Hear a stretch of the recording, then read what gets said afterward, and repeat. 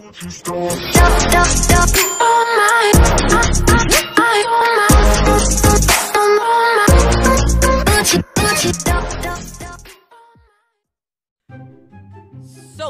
welcome to my channel and welcome to MCPE. Today, I'm gonna teach you how to make a four different types of potion in Minecraft Pocket Edition. And you can make this in Minecraft PC. And as you can see, I make uh, my new uh, YouTube station and you can download again this into a UTK-EO but soon because this station is under construction and before we start, please give a like and subscribe to my channel to see my latest tutorial or video. So now, let's start. So let's start here. So this is a four different potion. So uh, Minecraft chemistry potion. This one is a tonic. This one is a elixir, and this one a eye drops, and this one is a antidote. So this the I think you need to build the tonic, elixir, eye drops, and antidote. Uh, you need a bismuth and one uh, cobalt and one calcium one silver and four nether wart and four blaze powder and four water uh, water bottle. Just like this and now you need to place into the brewing stand.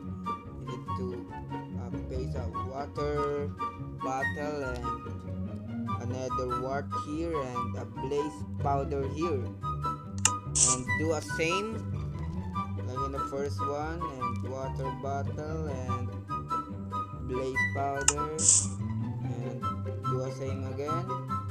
And place this a nether wart and blaze powder and water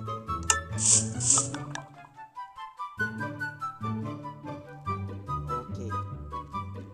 Just like this. Now wait. Just wait okay. It's done. Now you need to place a bismuth and uh, cobalt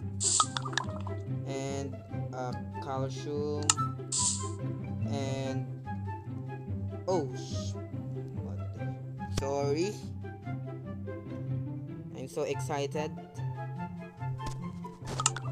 But so okay, we have a tonic now and we have a elixir. And we have a eye drops. Now let's make a antidote.